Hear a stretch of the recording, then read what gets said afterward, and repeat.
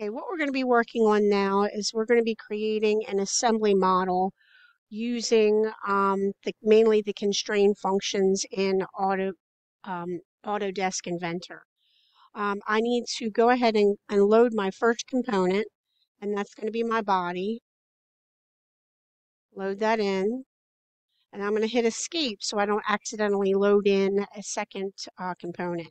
Now you'll notice over here in my model browser, I have an open circle next to my body, and that basically means that the part is not constrained.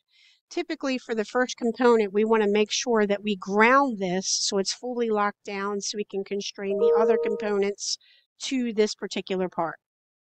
So I'm going to highlight this and go to grounded. And you can see over here in um, the model browser that we definitely have it grounded now fully. I'm going to go ahead and load my second component after I rotate my part to get a little bit better orientation here. I'm going to go to my place, my moving jaw. Now before I load this, before I click it, I need to rotate this in a couple of uh, ways to make sure I can get my um, surfaces that I want. And that's the nice thing about this. You can go ahead and right click and rotate before you click to make sure you get it in the correct orientation and you can place it where you want. Now we can hit escape and we're going to make sure that we apply the uh, first constraint. To do that, we're going to go up to the constraint area. I'm going to select mate, okay? And I'm going to make sure that my opposed is selected. That way it doesn't rotate my component. I want this face to sit on that face. And you can see that it beeps and it puts it in the location and I can say OK. All right. My next constraint is also going to be, um, I need two more constraints to fully constrain this part. So I'm going to go ahead and hit mate again.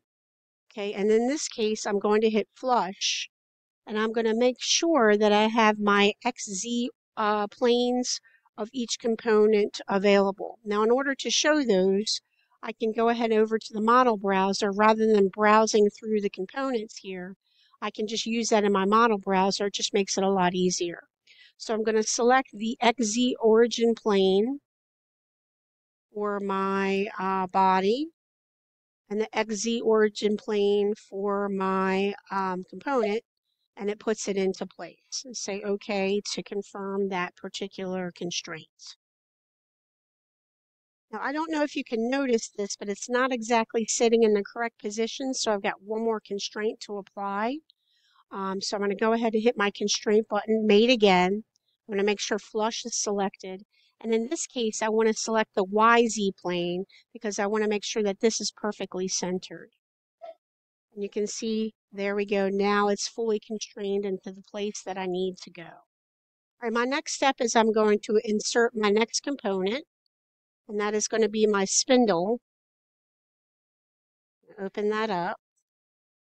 And this is in the orientation that I want for right now. So I'll go ahead and load that and escape out of it. That way I can actually uh, take a look at this. Now, we're going to go ahead and add our first constraint with our spindle. That's the next step. And now for this, I'm going to use a different type of constraint. It is going to be the insert here. And I'm going to make sure that I used the opposed. And that is already selected. Okay. Now I'm going to have to rotate this slightly because I want to make sure that this particular component I'm going to select my first one. I'm going to select this face. And then I'm going to go back and zoom out a little bit here. Rotate my components again.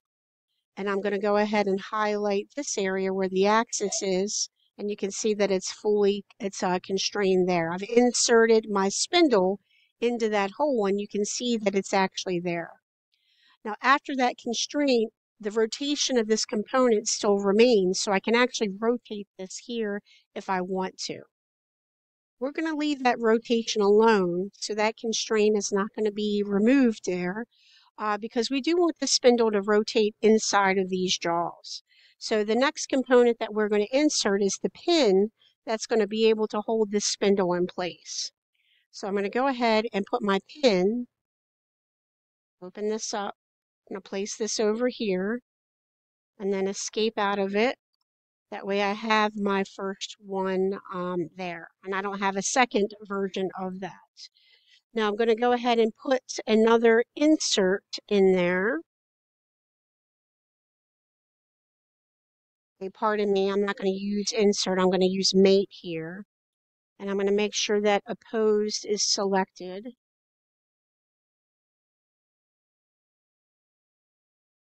Move this out of the way. I'm going to select my axis and then my axis and you can see that it's uh, posted in there and I can say OK for that. When I move this over, and if I rotate a little bit, it's not exactly in the position that I want. I want it a little bit higher. I want to actually do another constraint here. So I'm going to go ahead and um, expand my spindle and my pin origins and I don't really need this right now for the body, so I'm going to basically uh, hide those. That's the nice thing, we can open and close those. And we can go ahead and put another constraint using the origin planes like we did before. I'm going to use the mate command again. Okay, mate. And I'm going to go ahead and make sure that flush is selected. Okay, and I'm going to select this plane, the XZ plane of my axis. And then I'm going to select the y, XY plane of my pin to make sure that it's evenly located and I'll say OK. Now the next step I need to insert a couple of nuts to make sure that my pin doesn't slip out of my spindle. I'm going to zoom out a little bit. Now I don't actually have a model. If you take a look at my folder, I don't actually have a model uh, that I've created for that, but what I can do is I can go ahead and place something from the content center. If I go to the content center, um, I've got all these fasteners here, and this is already open because I was uh, playing around with this the other day. But what I want to do is I want to look at my fasteners. Okay, I go back to this main menu here, and I can click on my nuts. Okay, and I want to put a cap nut in there. So I can double click on that folder, and it'll open up my uh, cap nuts as well. Okay. Now the book calls for the DIN 917, and we need to make sure that we get one that's the proper size. And if I scroll down a little bit and I looked at my book here, I need one that's in row three. So I've got that selected, and then I can say OK, and it'll allow me to put that in here.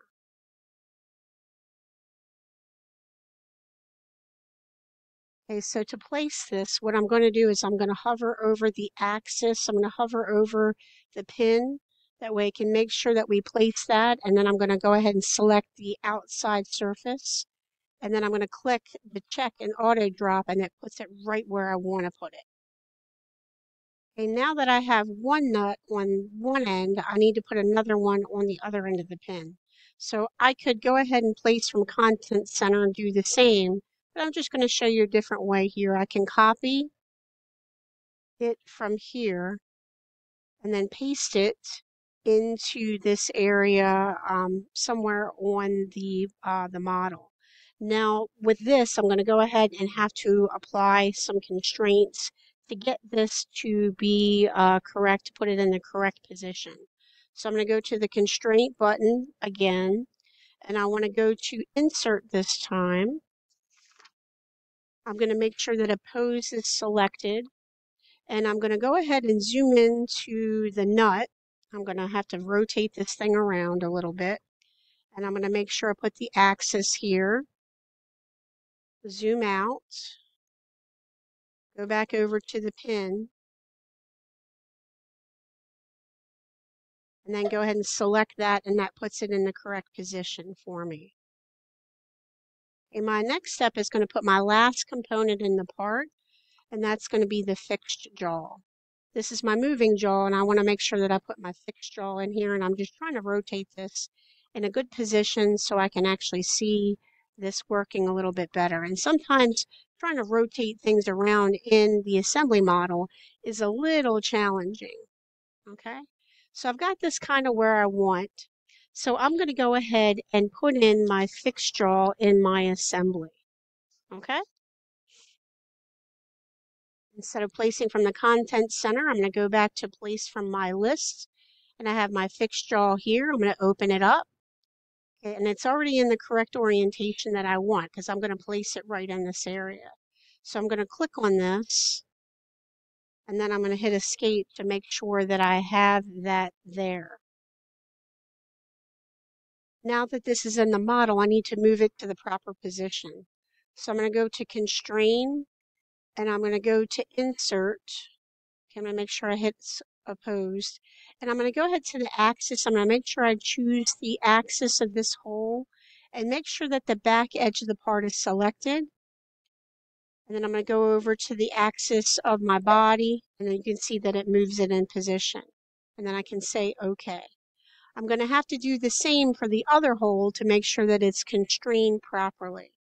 So I'm going to have to move in a little bit because later you can insert some screws into that area to make sure that the part doesn't move. So I'm going to go ahead and go to constrain again. Okay, so I'm going to put my last constraint on here. If you take a look, I'm going to try mate. And I'm going to go ahead and go to my hole. And then go to my hole for the screw on the fixed, sorry, on the body. And there we go. And then it's locked in position. Okay. So now I have my, my uh, assembly fully built. If I wanted to go ahead and apply some um, apply some motion or some animation to that, I could.